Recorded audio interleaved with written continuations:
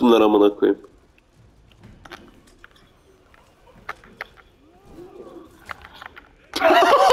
Siktir amına.